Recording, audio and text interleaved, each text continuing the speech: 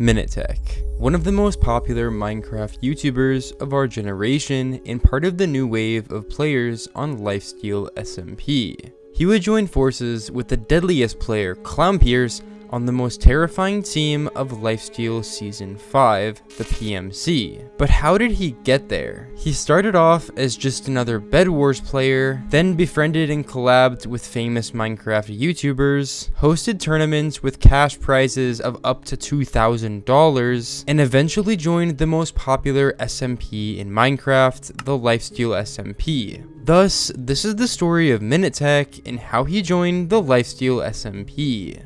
At the beginning of MinuteTech's career, he was known as an up-and-coming Bed Wars YouTuber, showing off various keyboards and mice and their performance in the game. However, he was never known to be particularly good at 1.8 combat. He just made really good and informative videos about Minecraft and tech hence the name MinuteTech. Most of his videos would get around 20 to 70,000 views, although he knew that his channel could be massive all he needed to do was find his big break. He would eventually reach the large milestone of 30,000 subscribers, which would grant him the prestigious YouTube rank on the server Hypixel, which is the server majority of his videos would be filmed on. However, it would take him quite a long time to get YouTube rank because most of his video was based around tech, and Hypixel looks for mainly specific Minecraft YouTubers. MinuteTech would experience his first blow up with a video titled The Best Mouse for Minecraft PvP, which would gain around 150,000 views and begin to build the momentum for his channel. He continued to post videos reviewing mice and showing off his mouse collection for the next few months and do collabs with bigger YouTubers in the space. Some of these videos display MinuteTech building keyboards for these bigger YouTubers and surprising them. These YouTubers included Not Nico, Bedless Noob, and Cheetah, who all had much bigger sub counts than MinuteTech at the time. Combining the trend with expensive keyboards on his channel with famous YouTubers was definitely a formula for success on MinuteTech's channel. He would gain over 1 million views on his video surprising not Nico with a keyboard, and beyond that point, nearly every video would reach over 300,000 views. These videos would continue to boost MinuteTech's channel well beyond 100,000 subscribers, making him a solidified YouTuber in the Minecraft community. MinuteTech knew that this was the time he needed to reach out and collaborate with some giants in the Minecraft space, and that's exactly what he would do. But before we get into that, I recently had a huge update on my Minecraft server, jankesmp.net. This is a lifesteal based server with no crystal PvP and also has custom bosses, mythical items, and daily rewards for every day for the holidays. We have frequent events, King of the Hill every hour, and much more. Check it out by joining my Discord, link in the description. Anyways, back to the video. Minute went a step further than just doing collab videos with other YouTubers, and created tournaments for cash prizes. These prices would range anywhere from 200 to $2,000, and with large prizes like these in the titles of his videos, they were bound to get tons of views. Some of the most popular videos around this time were his $1,000 Minecraft YouTuber tournament, Minecraft YouTubers Hardest Challenges, and I made a $1,000 Minecraft tournament. As you can see, they all fall under a very similar title. Minute would begin experimenting with content related to 1.9 PvP, collabing with some of the most popular YouTubers in the scene, including Clownpierce, who was known to be the deadliest player on the Lifesteal SMP. He would face off against them in duels for each of their main versions.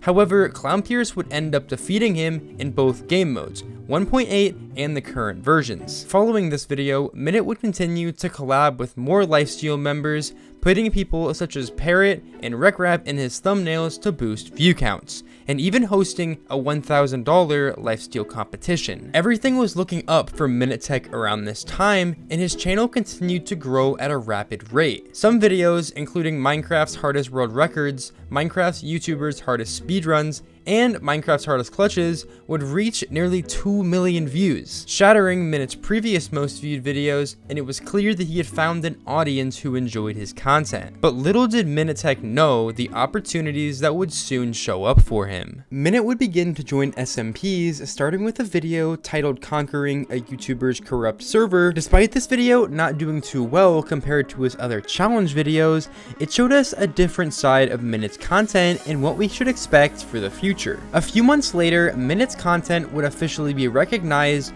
and he would post his first video on the Lifesteal SMP as one of the new members of Season 5, joining the deadliest team called the PMC along with Leowook and Clownpierce. The point of this team was to be a group of hitmen who would kill players around the server for hearts. They would get multiple hits early on, including one from Jumper Who, who wanted to get revenge on Bacon Waffles and Mapicc for killing her in the past. The PMC would eliminate them somewhat flawlessly, despite the fact that Mapicc was able to kill his teammate so they could save a heart. Oh, old buddy, old pal. Well, this isn't uh, great. I don't like this. We have a hostage, right? They have what we want, a hit. Let's uh, let's set a time limit. Let's set a time limit. Let's give Mapicc 10 minutes.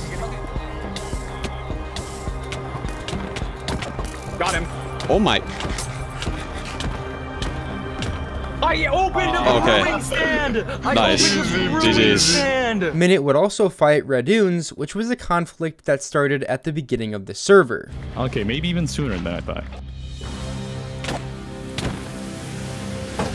Yeah, Alright, GG's. But the next video he posted would be even more insane. I found Minecraft's deadliest glitch. Minute and Leo had lost a collective 5 hearts by the likes of a new team that formed on the server called the Pirates. But it was actually by an illegal glitch. The pirates were taking advantage of a game-breaking exploit which makes cart damage one-shot a player. Minute and Leo knew they needed to get revenge. They allied with a team called Camelot after completing a task that they got from them to get two hearts. Camelot has many talented PvPers, including Reddoons, Vitalasy, and Jumper Who, who would be much needed to take down the five-man team of the pirates. Their new alliance would be called the Phantoms, and they would take advantage of the TNT minecart glitch to get the upper hand on the pirates in the next server war. After easily killing Prince Zam twice, Planet Lord would betray his friendship with the Phantoms and begin attacking Vitalasy. Planet Lord attempted multiple traps, killing Vitalasy once, but not Minute Tech.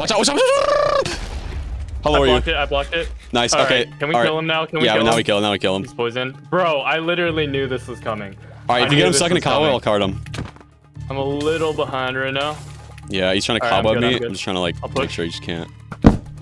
What? Oh my god! I, I lived, I lived, I lived, I lived, I lived, I lived. Oh my god! I, I lived, I lived, I lived, I lived, I lived. Minute and Planet Lord then parted ways. The final fight of the server would consist of the entire Pirates team versus the Phantoms, and this fight would get Minute and Leo back to the hearts they lost from the beginning of the war. I'll stall Mapicc and Penguin Water here. Oh my god, that was a good hit. Yeah, me, me and me Oh, and Red are here's low, okay. here's low. I'm getting Zam. Once we focus someone, we just move on to the next one. Yeah, yeah, just focus. Nice! Nice! Nice, nice. Nice! We're, we're getting Zam right now, we're getting Zam right now. Does he like think I'm low or something? I have so much gear still. I only use like 20 gaps. Someone sleep recently because the Phantoms are here. oh, that was a good one, that was a good Well, one. he's gonna try and course her into a cave over here. Oh, they're meeting Oh, up, they're trying to, they're trying to like... Uh, yeah, yeah. Stuff is This is, happening. this is wild. This is wild. What is going on? Nice! Uh, good It's Zam! Shit, good. Uh, good. hey. Kill them. Kill them. Yeah. Sam's over here, Sam's over here. He's gonna He- dig. he He's gonna dig. there's a cave down here. There's a cave down here if he course roots. He's gotta be breaking soon. Broken, broken, broken. He's gotta be it. No! Oh! Wait, what? I'm sorry, I'm sorry, I'm sorry, I'm sorry. I'm That's sorry. okay. That's okay. Watch out, watch out. Don't let him cr- Oh, no! Broke shield, broke shield, broke shield. That was a direct hit. Whoa! Oh, He's low. He's low. He's low. What was that little? We, oh, we almost he friendly tried fired. on top of me. He's not even holding his shield anymore. Did his shield break? Come on. Nice! This guy doesn't have a helmet. Multiple cards. helmet? This guy Oh, this guy doesn't have an helmet. Oh my god, I got Go crazy. Go crazy. Minute would then begin his quest to get immortality on the server by obtaining 20 hearts. He would do this fairly quickly after the war with the pirates by continuing to kill his enemies, and the final heart would be obtained by a deal he made with Mapicc. To many people, MinuteTech is known to be Lifesteal's saving grace, bringing PvP back to the server, since to many, it's been lacking PvP in the recent seasons. Anyways, please subscribe for more documentaries, and join my SMP's Discord in the description. See you all in the next one.